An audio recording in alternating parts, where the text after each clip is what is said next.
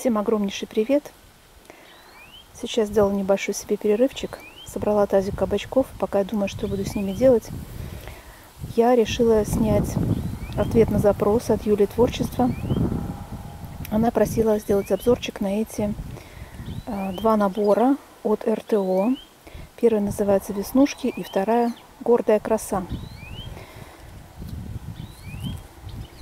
Веснушки – это работа, которая в итоге будет размером 30 на 34.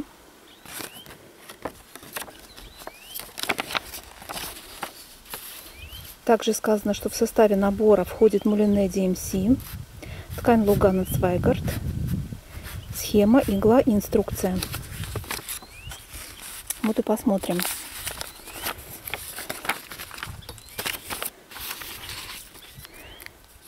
Здесь я нашла в наборе иголочку Джон Джеймс.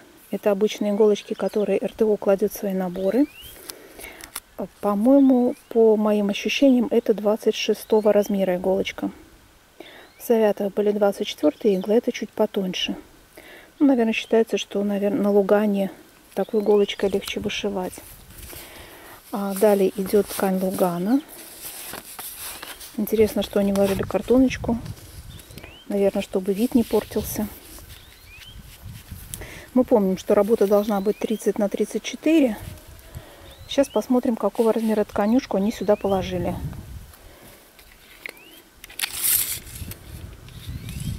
Так, измеряю 53 на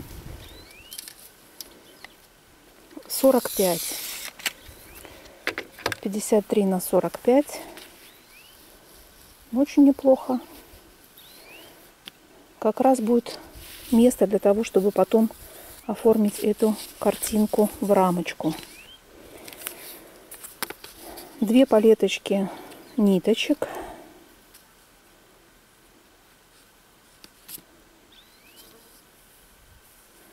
Правда, здесь вот занимают ячеечки одинаковые ниточки. 6-7 номер совпадает. 8-9 совпадает. И 10-11 совпадает. То есть в итоге получается не 20 цветов, а 17. Цвета достаточно спокойные.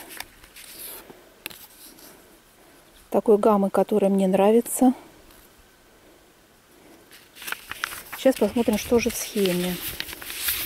Схема состоит из двух листочков.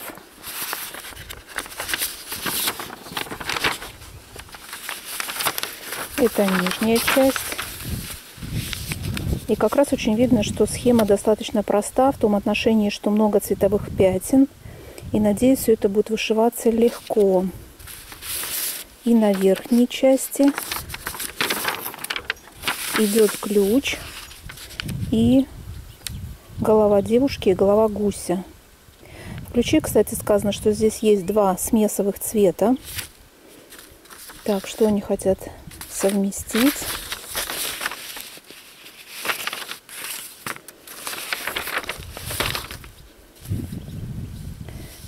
пятый цвет совмещается с четырнадцатым. Вот такое необычное сочетание. Это, э, это сочетание будет использоваться в волосах девочки. И второй смесовый цвет это шестой и первый с этой палеточки. Но здесь уже поближе цветовая гамма этих оттенков. И такая смесь будет использоваться на ее курточке в одежде. Какую еще информацию можем найти на схеме? Что схема разработана Сотниковой Ольгой по мотивам работы Нэнси Ноэль. Кстати, точно такая же информация написана и в другой работе. Следующая работа «Гордая краса» слегка поменьше. Но комплектация у нее практически такая же. Однако есть отличия.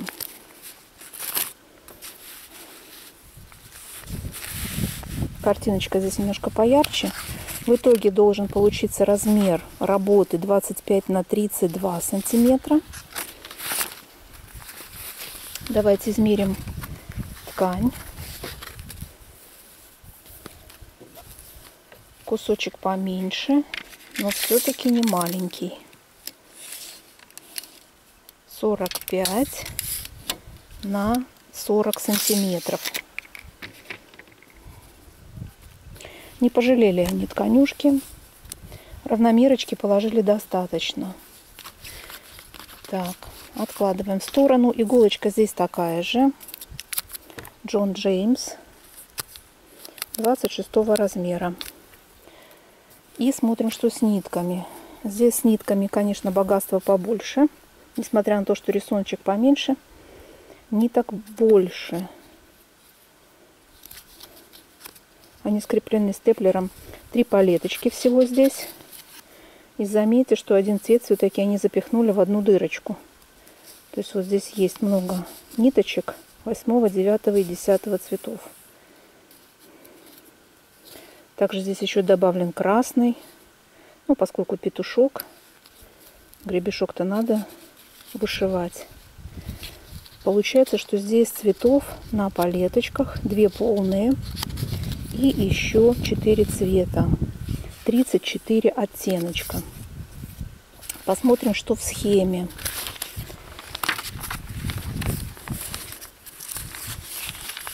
Ветер поднялся, мне бы теперь это все удержать.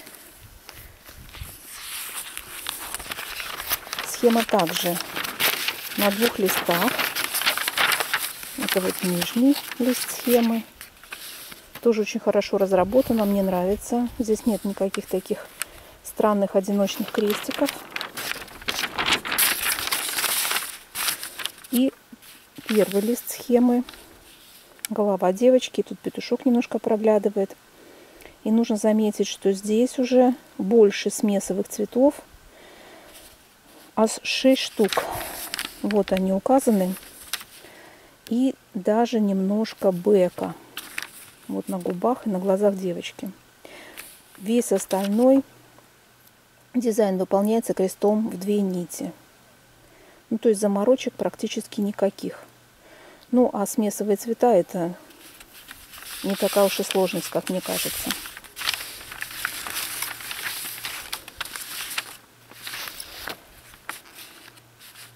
Вот, я думаю, что я удовлетворила любопытство тех, которым было интересно посмотреть, что внутри этих наборчиков.